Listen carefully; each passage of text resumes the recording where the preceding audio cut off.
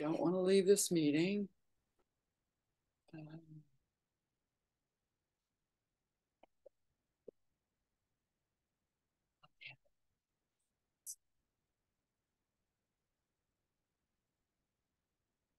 So my, I cannot communicate to the central library because my screen is filled with my lecture. Okay, And tell us no what you want us to tell them. Um, tell them I can't see anything other than my lecture screen, so I don't know when I can start. I Okay, hold on, I'm gonna try to, um, I mean, other people could do it as well. I'm just gonna try to, Yeah, but he just called me uh, while I was in my car. And I'm hopeful that he can, no.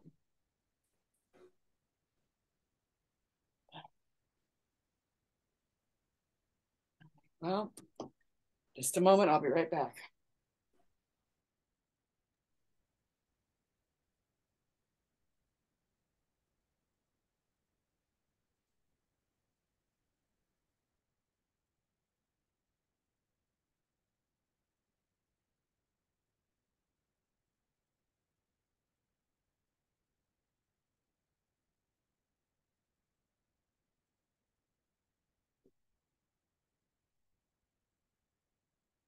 I'm going to escape from here so that I can at least see back to.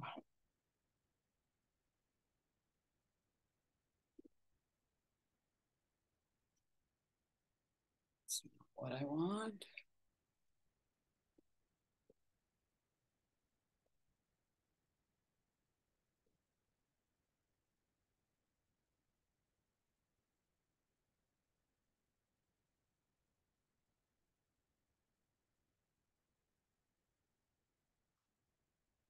I'm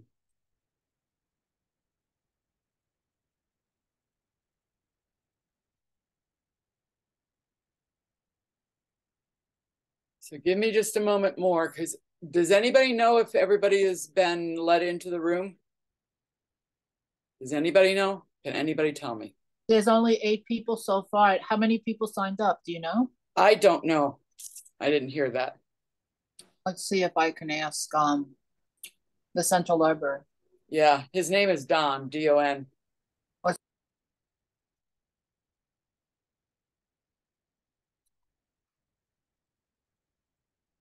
I'll be right back. Let me.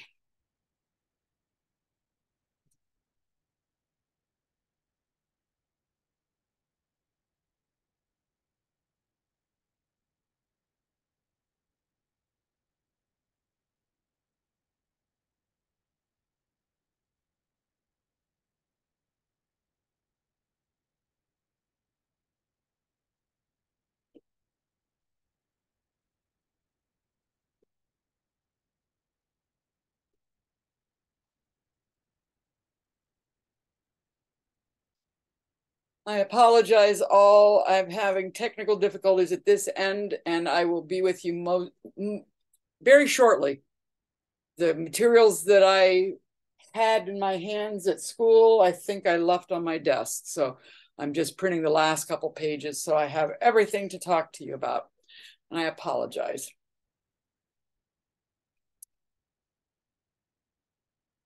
Well, we've got a good night coming up, so that'll should be good.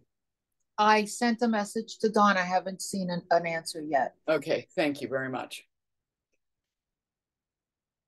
Take your time, it'll be fine. Yeah, I know. I'm just Just breathe, yeah, I know. Breathe. I'm breathe. yeah, I hear you. But between the PGA parking on the MCC campus that everybody feels they're entitled to park wherever they want, and students can't get on campus or can't find parking spots, add that to the confusion of the last week of school, and oh my God, everybody's going nuts. So I'll be right back.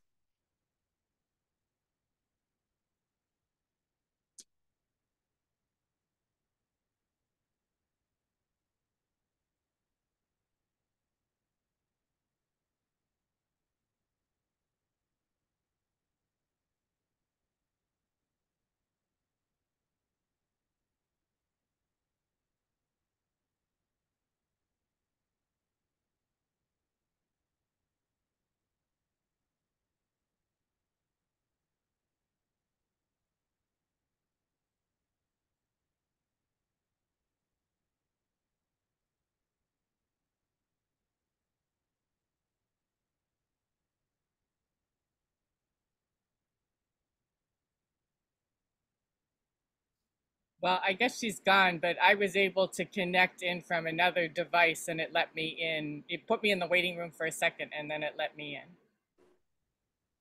Oh, good.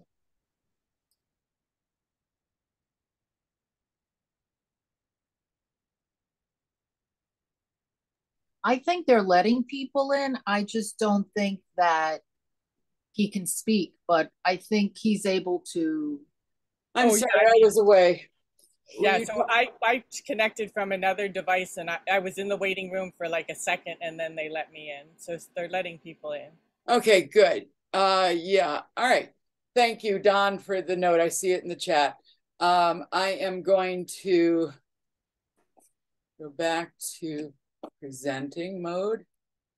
See if I can get the chat down. Okay, can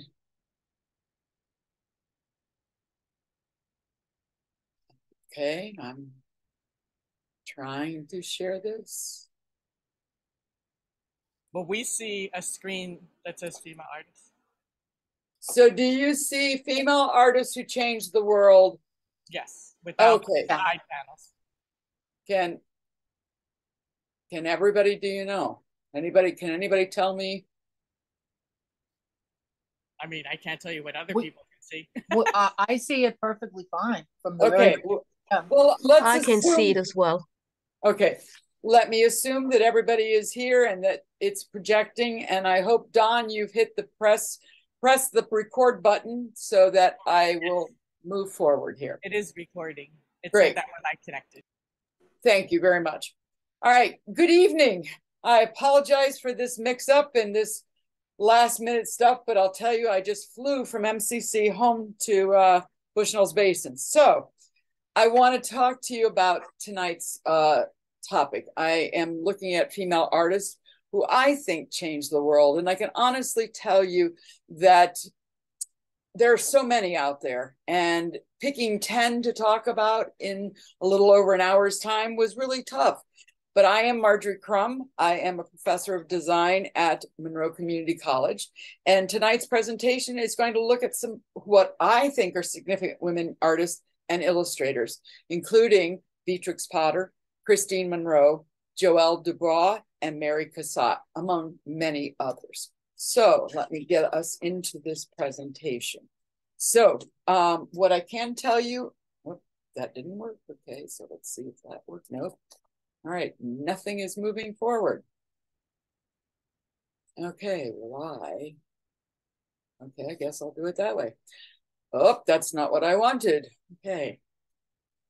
Let's see if this works now. Nope. Okay. Let me see if I can do this one at a time. Okay.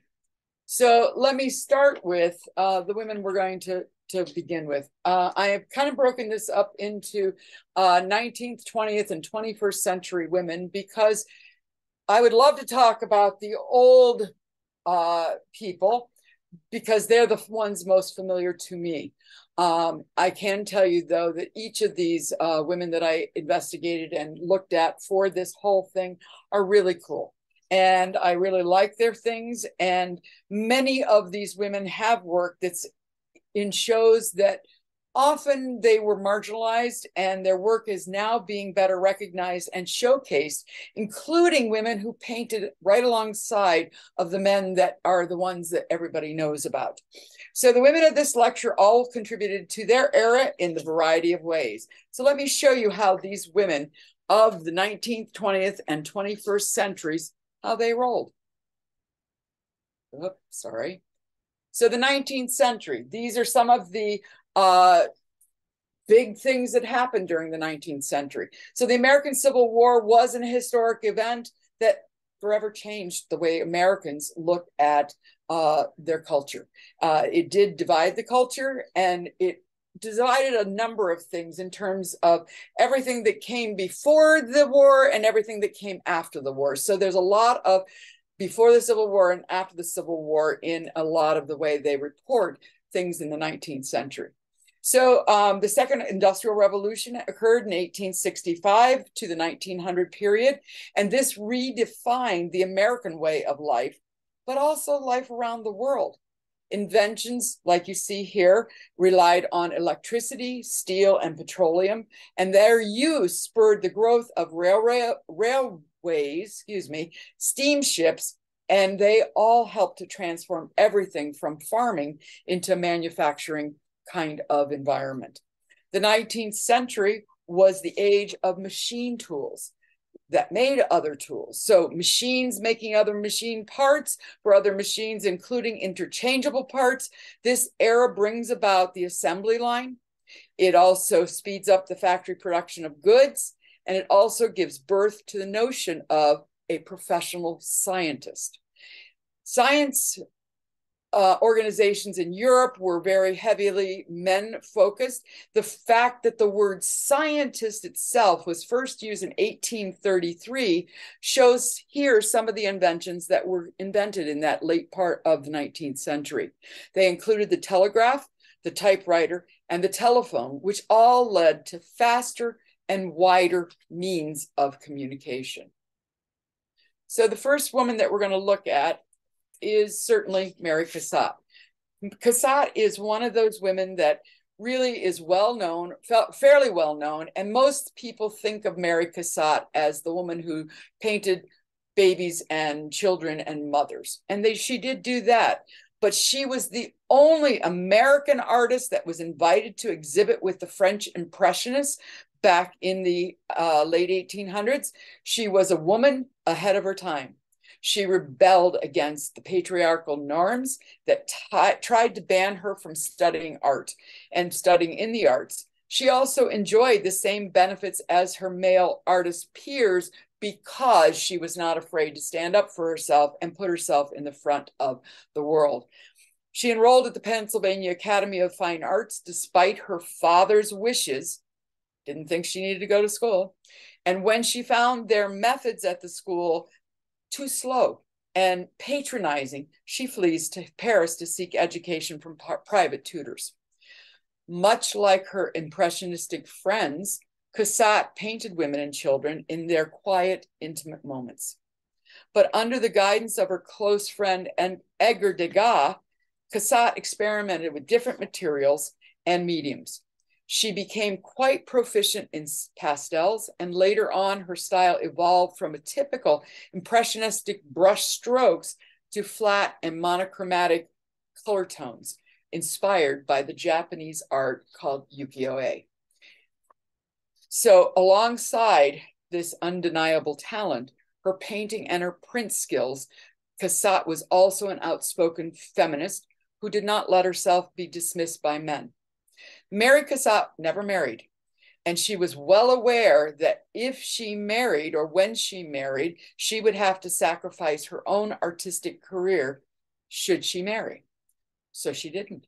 She took part in recreating what it meant to be a new woman in the 19th century, taking cues from her mother, who had principled and social was principled and socially active. So she had the connections to get you where you needed to be. Um, even when she could no longer create art, Cassatt, because, because of her deteriorating eyesight, she continued to support women's suffrage as the movement. And throughout her life, she advocated for women's rights and represented them in her artworks with a sense of dignity and depth that male artists could not convey. Yeah, so the next artist we're going to look at should be familiar to many of you. Beatrix Potter. Now, Beatrix Potter, Potter is one of the most beloved and influential storytellers of all time. We all know her from the tale of Peter Rabbit. And, you know, it was kind of funny to see these rabbits taking on human imaginations and through their fantastical exploits, they were able, she was able to bring nature and nature studies to children. And when the women had no right to vote, she decided well, that's not right. There was no virtually no access to higher education. Very rarely did women own property, and they were themselves considered property of their husbands. Potter did not like this. She became a commercial success and she became commercially successful as a writer and an artist using the royalties from her books to purchase her famed Hilltop Farm. And while she's there, she lived simply and had a great love for the land. And you can start to see it in the things that she is drawing for the children. But some of the items you see here on here are the beautiful studies of mushrooms that she did. She was a mycologist and she really liked looking at the flora and the fauna in the woods and spent a lot of times there. Because the pervasive Victorian enthusiasm for natural history produced quite a few female amateur scientists, an amateur not being a reflection of the scientific rigors, of course, and the dedication. That's what they assumed all women were into, just little bits of knowing how to make flowers and grow them, things like that. Um, but she used that formal scientific education that she got by studying everything around her and made things accessible to women and membership in scientific societies was strictly forbidden for women and they were reserved only for men. But Potter's scientific work was exceptional. And she deliberately tried to penetrate the very institutions that dismissed women's scientific labor solely on the basis of gender. By her early 1920s, Potter had developed a keen interest in mycology and had begun producing incredibly beautiful drawings of fungi. She collected mushroom specimens herself and mounted them for very careful observation under a microscope. In the winter months, she frequented London's Natural History Museum to study their displays. But her interests went far beyond the mere aesthetics or symbolism of mushrooms. She was studious about the taxonomy, excuse me, taxonomy, yeah, taxonomy. She taught herself the proper technique for art, uh, accurate botanical illustrations, and she worked tirelessly to get an introduction to the eminent mycologist Charles McIntosh. With his help and encouragement, she continued advancing her microscopic observations, and they kindled her in her an intense fascination with how mushrooms reproduced, something that was very poorly understood at the time. Potter was not really too perturbed by the rejection. She channeled her genius, her creative energy, in a different direction. Only five years later, the self published first edition of The Tale of Peter Rabbit sold out before the next commercial edition was even printed. Potter became one of the most famous and successful children's book artists and writers of her time, and soon of all time. That same fascination with nature that had fueled her scientific work now was appearing in a new guise of her stories. They were full of fantastical beings of fairy tales, but the realistic animals and the plants that were native to every woods in which she had collected her mushroom species were carefully rendered so you could see them. And that was something that she wanted to be able to uh, bring to the world. And because she earned good money, she was able to buy her house and live in it all by herself and not have anybody there to bug her.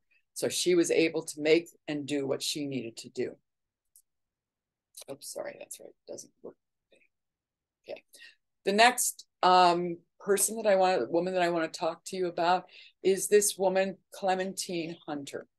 And so Clementine, these are some of the works that you see here. She was a self-taught artist. She had very little schooling and she began working at a very young age in the fields at Melrose Plantation in Natch Natchitoches, which is, she pronounced it Natchitoches, the oldest town in Louisiana, and that was established in 1714.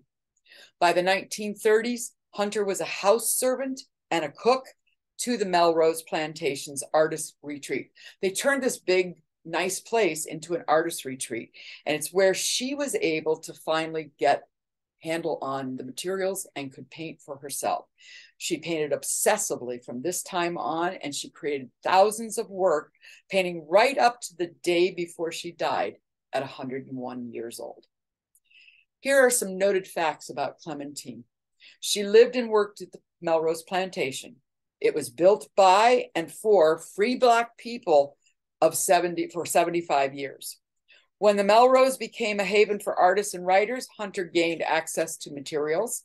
She painted on a variety of surfaces, including boards, window shades, uh, jugs, anything she could put her fingers on, she would paint. She, her signature evolved over time, and she started with a backwards C overlapping an H. So her CH is what you can see on some of her works.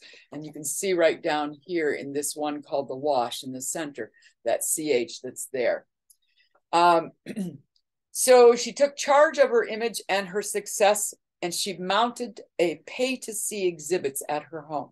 So she was real smart about how she went about things because she saw what the men were doing to get their their art seen and looked at. So she even charged people to take pictures with her who may have purchased her work. Um, she would sell this work for a modest price, and she even created the occasional self portrait.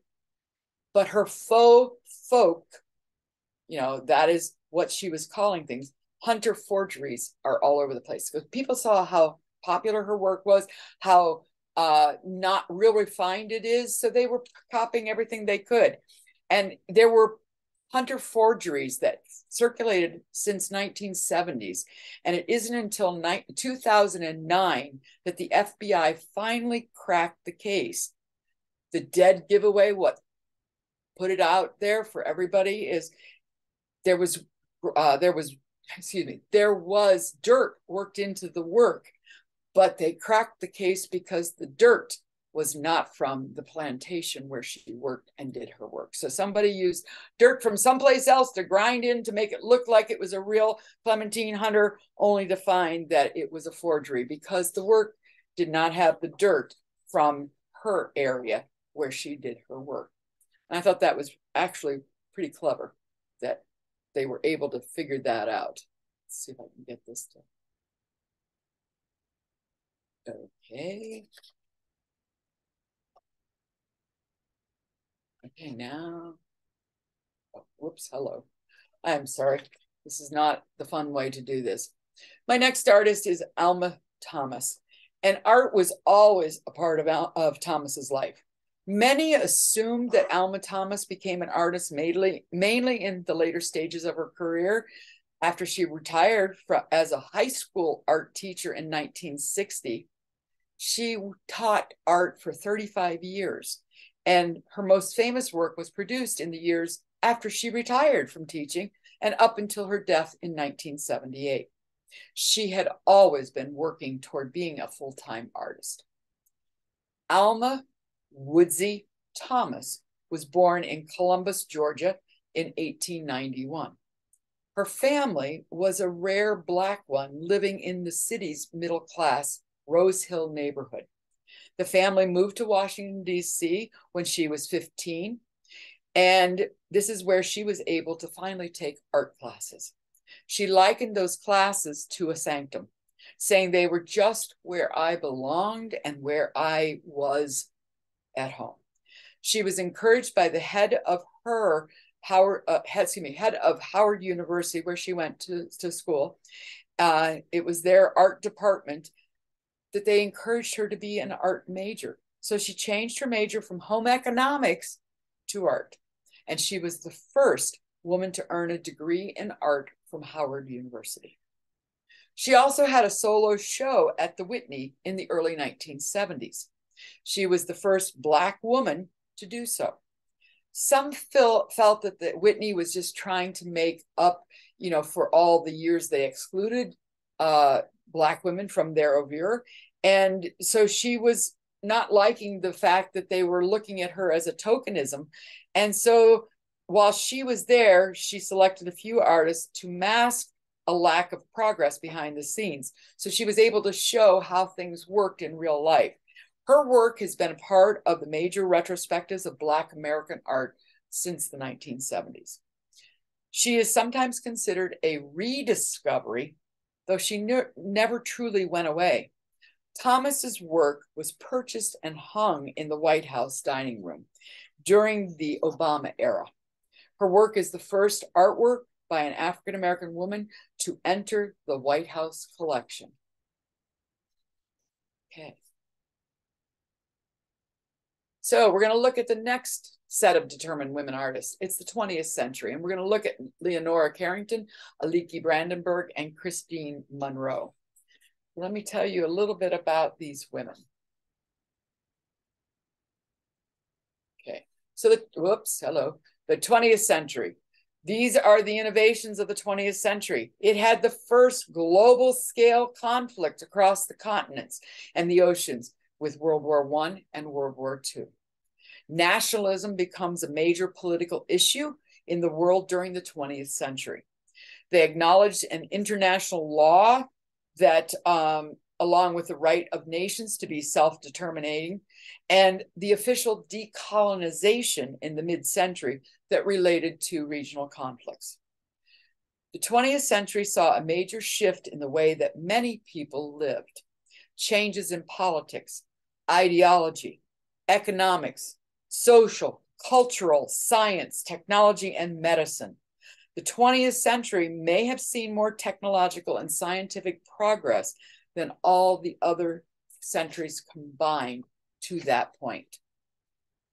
Scientific discoveries changed the foundational models of physical science, forcing scientists to realize that the universe was more complex than previously believed. They also dashed the hopes or fears at the end of the 19th century that the last few details of scientific knowledge were about to be filled in. Well, as we can see in the 21st century, we still have a lot more technology that's on the horizon and coming daily or almost hourly. It was a century that started with horses, simple automobiles, and freighters, but ended with high speed rail, cruise ships, global commercial air travel, and the space shuttle. So let's look at some of these women.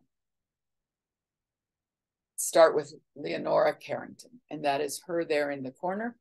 Uh, Leonora, Leonora Carrington was born into an upper class Irish Catholic family. They also, as a family, kind of had a problem conforming with societal standards. Her father wanted something done one way, and her mother wanted other things. So she ends up finding refuge in art. And in 1936, she enrolled in a new art uh, school that was done in London. Carrington met surrealist Max Ernst in London in 1937 and lived with him in southern France after he divorced his wife. Most critics dismissed women surrealists, but Ernst encouraged Carrington and she exhibited with the surrealists internationally. World War II put a real end to the surrealism in Europe. Ernst was tempor- temporarily imprisoned as an intern at an internment camp, and Carrington flees to Spain.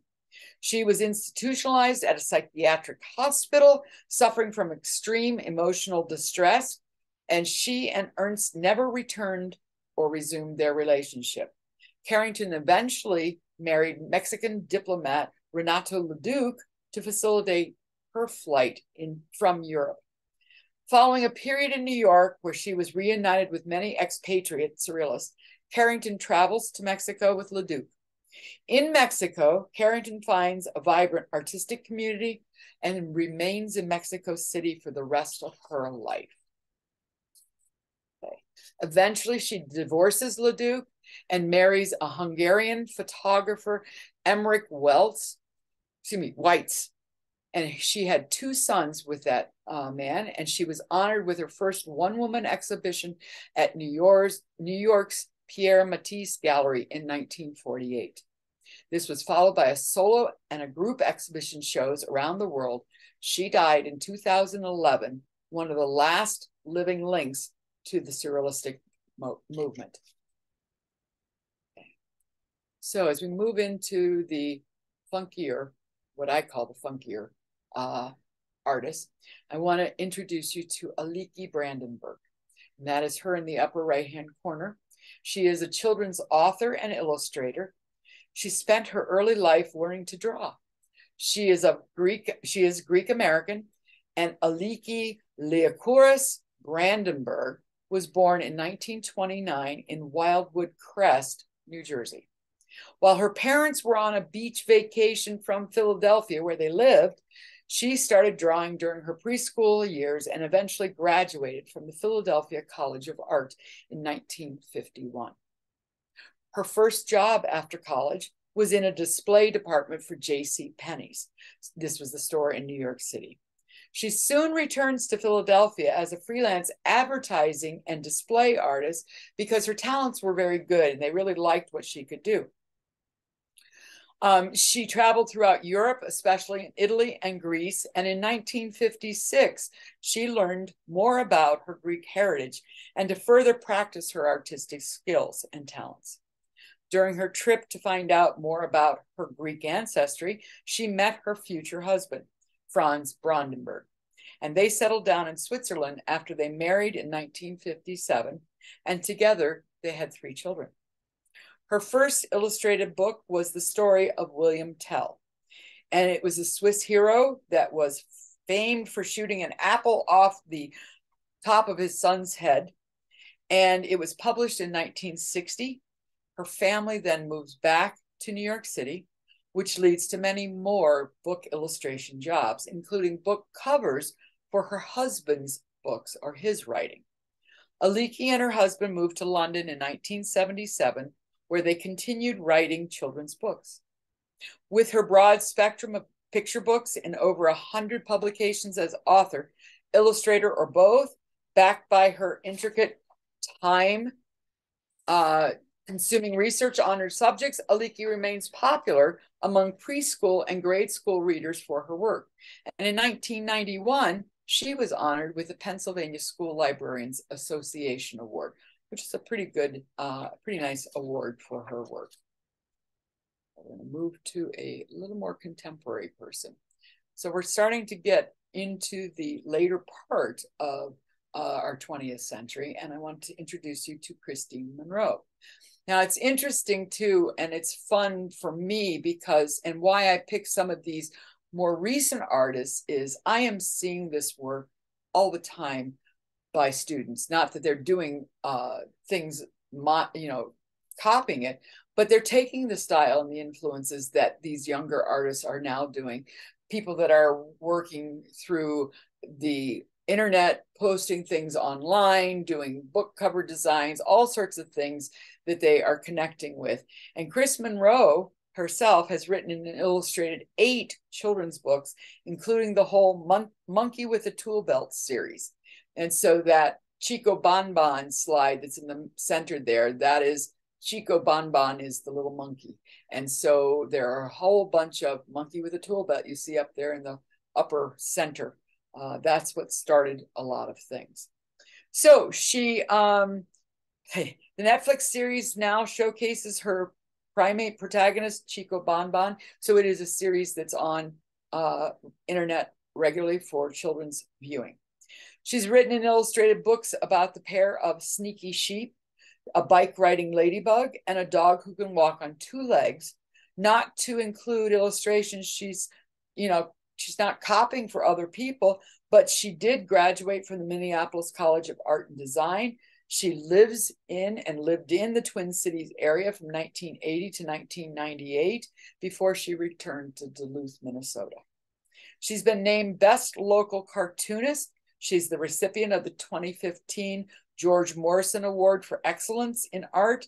And in 2016, she won an Emmy Award for her animation artwork for Kevin Kling, Lost and Found. It's a documentary that was produced by TPT, and her children's books are now, uh, yeah, her children's books are now in five languages and have won over a dozen international awards. In 2017, she was inducted into the Duluth East High School Hall of Fame. So even in your hometown, you can win awards that people think are pretty, uh, pretty good to see. Okay, so we're going to talk about the determined women artists in the 21st century. And I'm sorry, it looks like the slide cut off, but the women that we're going to look at are Hee Yoon, Tara Krebs, and Joelle Dubois.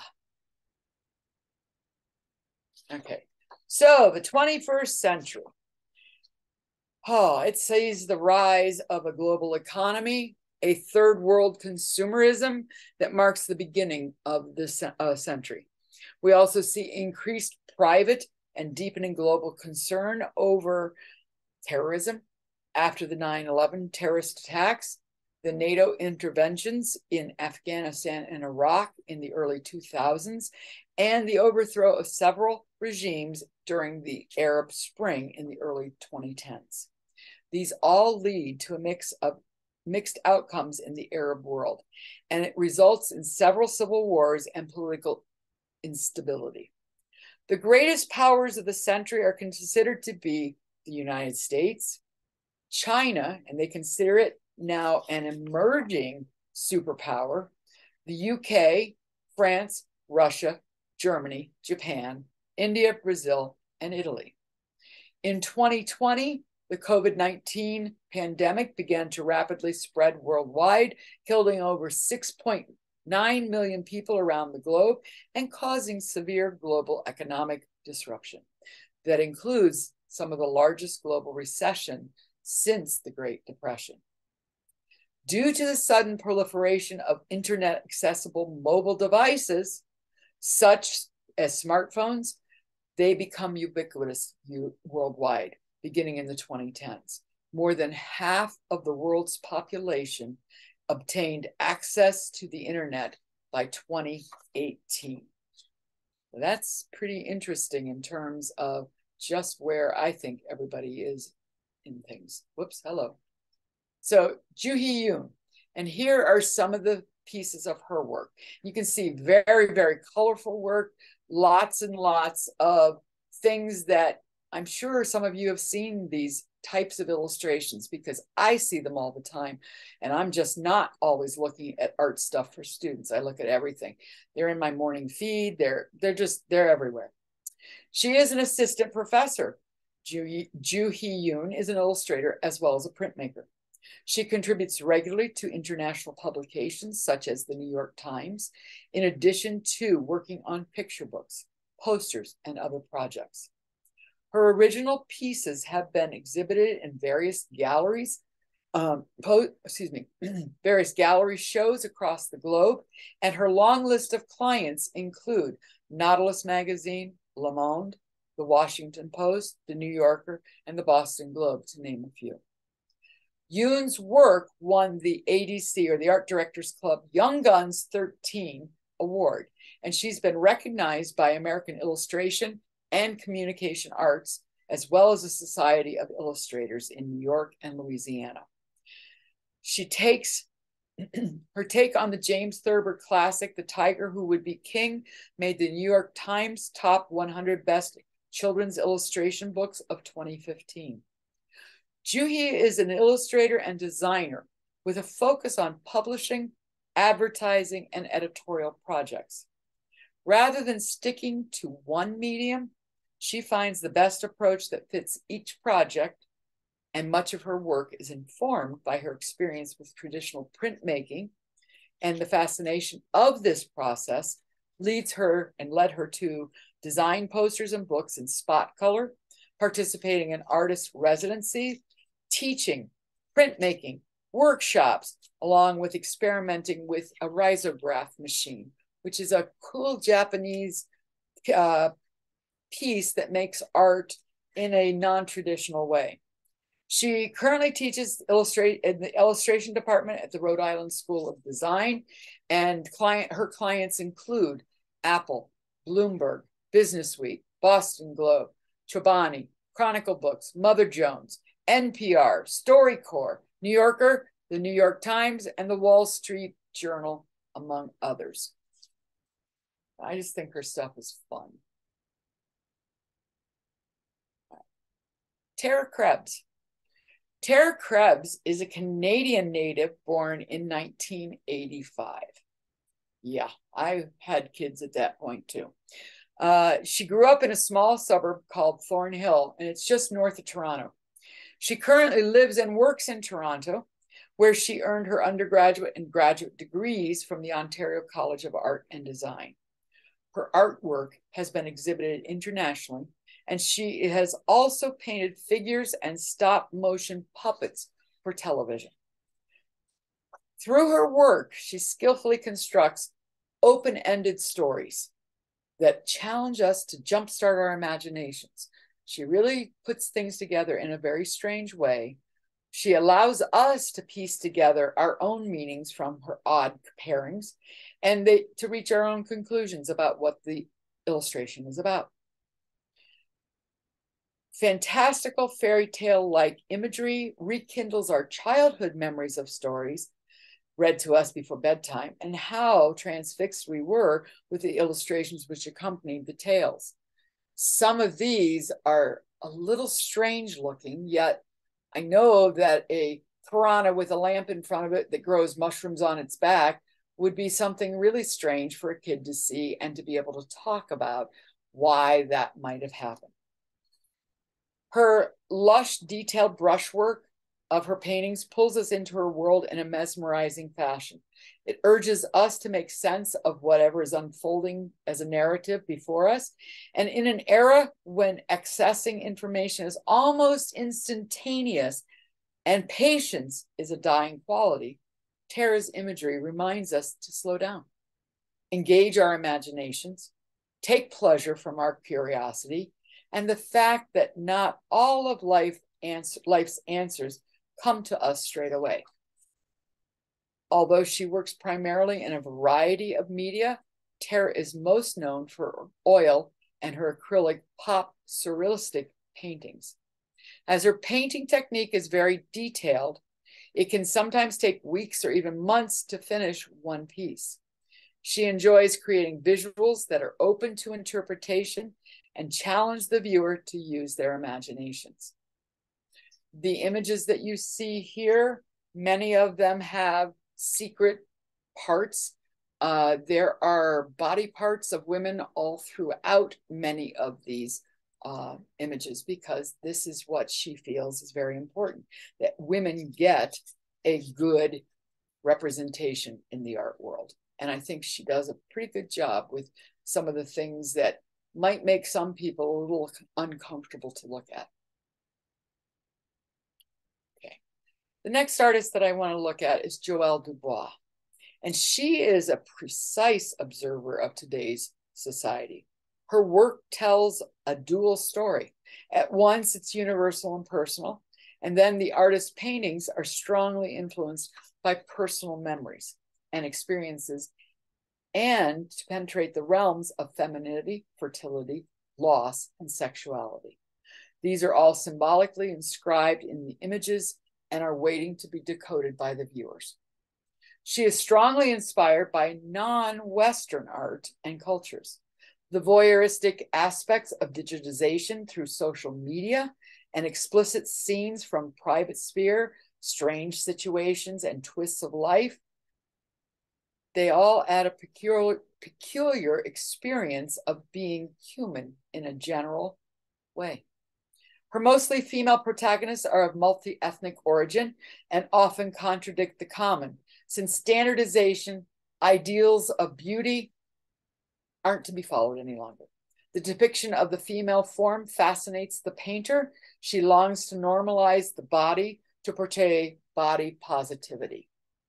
Dubois, Dubois' work is also skillfully, skillfully peppered with allusions to art history. Quotations from famous works painters' compositions or styles, as well as iconic use of symbols, are not uncommon to her. In addition, the artist is committed to, today, to today's zeitgeist.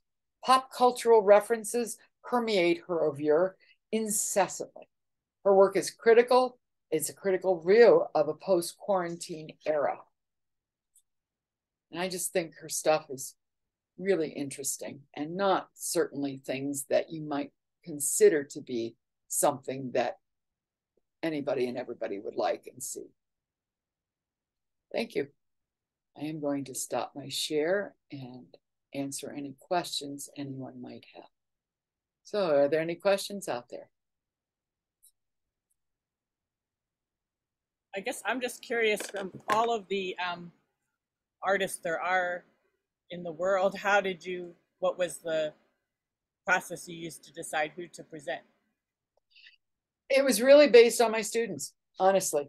Um, I am seeing so much of digital art and other kinds of art in very unusual ways. I mean, these, one of the things that the pandemic has done, at least at my college, and what I see with my students, is they're looking at anything and everything they can. They are trying very much to be part of what is now in the now. And it's it's really interesting to see what they look at and how they're doing things. I have students that are doing uh, animation. They're doing their own little um, projects that build into bigger projects they're really very interesting and i just started seeing lots and lots of very colorful uh, crazy looking art that has multiple meanings because there's so much imagery and uh, symbology worked into it i thought yeah, let's give this a chance. Let's give this a try because these are the artists of the future. They are the ones that will be, um, you know, the up and coming, the things that you're seeing. I'm not sure how many of you have played with the um, program out there called Canva. Uh, Canva um, is free and you can certainly pay for things. And Canva is a, here we go. Canva is, was, is, it's a product that was developed by a um, indigenous woman from Australia. And this is available worldwide. You can use their art, which a lot of the later 21st century artists, I'm sure I've seen their art on Canva because there's a lot of stuff that looks very similar. And so I'm seeing students doing all sorts of things with this stuff. And I thought, well, why not look at these artists as well? So I just I and I found it fascinating. I I can tell you I had hundreds of artists and choosing 10 was really difficult for me. I wanted to delve into every single one of these, find what the secret stories were behind everybody. And I just couldn't do that in the time I had and for the time I had to do this uh, presentation. So I'm glad you're all here. I hope I didn't offend anybody, but these, these are the up and coming artists. These are the people that you see all over now in things that are online as well as uh, gaming, all sorts of stuff. So, you know, I am, I guess I'm influenced by my students in a lot of ways because I love the color. Um, you know, I'm the one with the purple hair here. And so I, I love color and I look and use color all the time. And so, you know, it's kind of tough looking at sketch work without color anymore. I do like it. I love it. But students they also are not necessarily wanting to do everything with paper and pencil. They want to do the same kinds of things you can do with paper and pencil, but they want to do it digitally. And that's how they are doing lots and lots of things. There's a program out there that's like $9 called Procreate that works on tablets that is just, it's, it's like, or it's similar to Photoshop, but it's something that you can, you know, do a number of things and put it out there and everybody seems to like what you can see do and draw and so that's what i am seeing a lot of is that kind of influence into my students work the woman also that started canva she was named one of the Inc.'s top 50 businesses for i think it was 2020 and she's native new you know from the, uh, I think she may be New Zealand rather than Australia, but she's she's down in the southern hemisphere and she is. I am seeing everybody use Canva for a number of things. I had a presentation shown earlier today that was created in Canvas. They have the PowerPoint esque way of doing things. So it's just, if you have not checked it out, do. You'll get lost for hours and probably have fun doing it. Did that answer your question? Is yes. it Canvas C A N V A S? No. C-A-N-V-A. V A. No S. Just Canva. and there's parts that you can pay for and there's parts that are free and if you are an educator with another school or doing something in an educational role you may have uh, an ability to get into it with uh, more accept more options and opportunities available to you so double check it um, I know that MCC has a, con, you know, we're on the list, so there's a number of people using it as well as students. So it's it's pretty incredible what you can do with it. Oh, can Any I ask question? another question?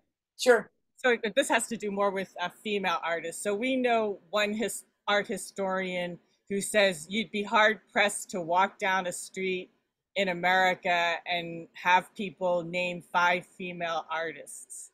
Do you yeah. think that that will be changing soon? I sure hope it does. I think it's abysmal that we can't see things. I mean, just think about all the men that get things. I mean, many of the women in the early part of this lecture, they were muses to men. And they were there in a way that were used by men unless they had a backbone and stood up to it. You know, Beatrix Potter, she never wanted to be married. She didn't want to give away anything that she had worked really hard. She had a hard enough time getting accepted into a society that thought she shouldn't be there. So, you know, and she, because she called herself a scientist, even though the world didn't call her a scientist, she, the work that you can see, the, um, her fungi work, oh my God, it's just gorgeous and detailed and really trying to show a thing in the world in its truest form. I can't fault that. I mean, she did a good job. And she earned money and she didn't have to take it from, you know, she didn't have to do anything with men around because she found that it wasn't something that she could get real good help from. But that's these are these are my opinions too. These are my thoughts. You know, I was an art student my my art was photography. So i've been through the mill. I know all the stuff that you know a lot of these people do. I've done this whole thing in terms of art history. We all study. And my god every art history at the time i was studying which was quite a few years ago were men of everything.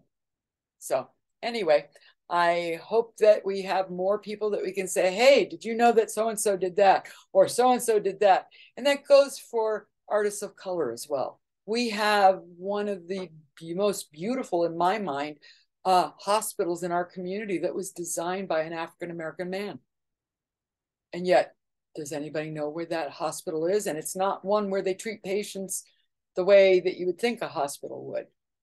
It's the Monroe Community Community Hospital there by um, 15, 15A, right in that area between, yeah, between 15 and 15A, right in that area where West, Westfall is.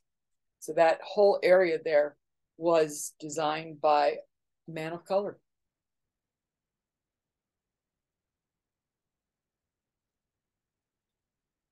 And can I ask one more question? Absolutely. I'm here for as long as you need. I guess it is almost seven, but I, I'm here. What advice would you have for a young student who would like to grow up to be an artist? Draw, draw, draw. Just draw. Look at art, study art, practice art. Just do it and keep doing it. Because what I find is even in the graphic arts where I teach, you know, they we use computers all the time. And you can still do things by hand and you still can bring them in to look like you know they are useful in a technological digital age and there are things now that you can draw with digital things that look like you used a pencil and paper. So it's all in the matter of how you go about things. I would say be a sponge. That's one of the best things you can do. Try things, look at things. If somebody gives you an opportunity to try something, do it. You know, I just, I can't say you can't. To me, you can study and look at art, go to museums, go to, you know, places that go over to things like um what's the place over there? Oh i can't think of it. It's uh it's got a bowling alley it's got a gaming it's got a restaurant uh it's off of atlantic avenue area. I can't think of it. Uh I've been there, but I just can't remember the name of it right off the top of my head. It's it's a restaurant whole area that you can go as a family. You can get things and play games all over the place. You can have food. You can do whatever you want there, and it's pretty cool um, as a facility. But go see different things. Go try things. Go to the um, you know the Eastman House. Go play outside. Go to the Strong Museum when it opens back up shortly. That is going to be the best place in town for quite a while. Uh, if you haven't seen what's happening over there, they are to be opening, I think, next week. I think is the grand opening. In the next couple weeks, it will be reopening, and they have put in uh, hotel areas right around that area. They have made it family friendly and a whole art community in that area all around the Strong Museum and the playgrounds. So they are they know where their um, population is coming and what they're doing, and they've made it more accessible. I would just say go spend every hour you can doing stuff at museums. There's some really great places to go. So, anybody else have questions? Hi, Millie. I see you. I have one of my students here. So, and I have, I have a colleague too. So, very cool. If there are no more questions, I would say this would be done. I would love to have. Quick question. Um, Sure. Some of, the, some of the people here that are very famous um, seem to have published. Is that a link? Um, would you say to like Alikia? I mean, you know, in every school, of course, you know, she was popular and anyone that, you know, Beatrice Potter, but I'm saying like now currently, it's either being Um, published in a magazine or a book or Yeah, writing if a children's if book. Is that the, is that the link? That could be. Um, a lot of it is just turning over stones, just looking at everything and anything. And you hear somebody say something about, oh, that could be a book cover or that could be a whatever. Say, well, who would I talk to about that? You know, just ask the questions because there are people out there all over the place that are publishing. And publishers, you know, it's publishing is a little different these days because you don't always need the big publishing houses. They help a lot because they've got a a network that they can tap tap into. But you know, you are if you're on social media or have social media that you do, you got to be careful with some things because there are people out there that just rip you off. But in terms of looking for places, you know, anytime you hear anything about a publishing, whatever, someone's name, take it down, call them, ask them, you know, publish yourself. Some people are doing that. Uh, you know, there's a lot of things out there. It's not necessarily something that you have to spend a lot of money on or a lot of time, but if you just keep looking and keep asking and keep applying, yeah, not bad. Does that answer your question? Yes. Um, and also there's a tremendous interest now in outsider art. And- you had, I forgot the lady's name, um, that did the outsiders art. The um uh hunt uh Clementine. Yes, yes. Yes. There's a tremendous interest in that. I mean, the armories here in New York City have, you know, incredible shows and they charge an arm and a leg to even just get in to see it.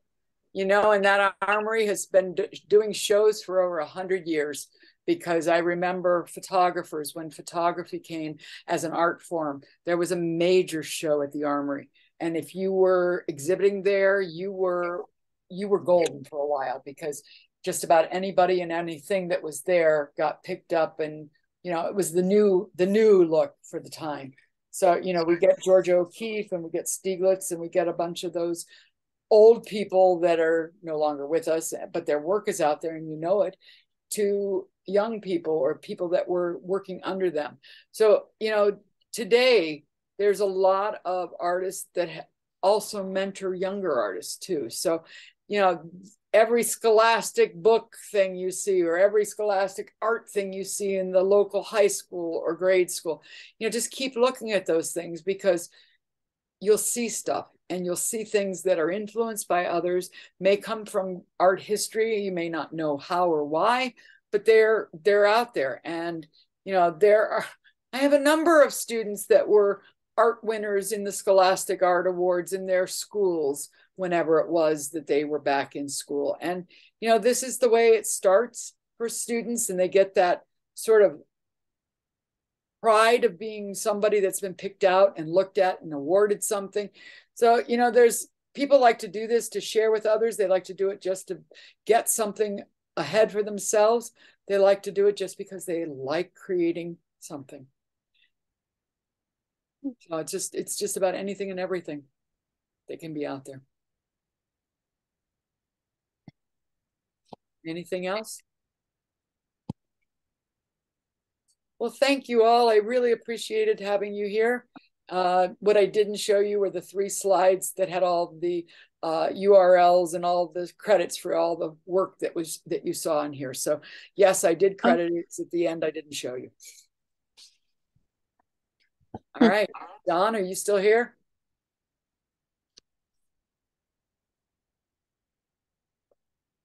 All right, I, I, Millie, go ahead. I'm not sure if my microphone's working. Well, I hear you. Or I Um, did. I thank you very much. I really enjoyed the presentation. It was very informative. Thanks. Well, thanks for coming.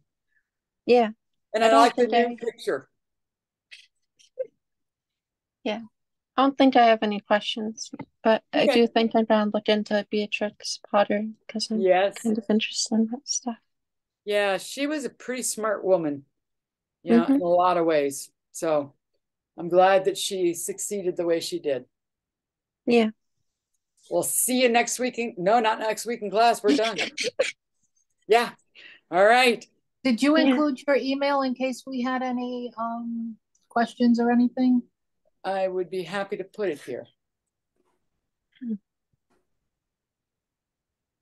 Is this the type of um presentation you do in your class or is it? I do in my history of graphic design class. Um, I do similar kinds of things in my own classes, depending on the subject matter. So when I get into graphic design one, we start looking at branding and we start looking at corporate, the corporate things. You know, what do you need as a business besides letterhead, business card, and envelope? You know, so we start looking at those things and and work on those. Yeah, I show them examples of art and design all the time. So for me, I learn best by seeing. So I am a visual learner. And that came really home to me through the COVID pandemic because all of a sudden it real I realized, oh no, we can't just put words on the screen. We got to do a little bit more to keep people's attention. So anyway, yeah, I did you did you see the email down there in the chat?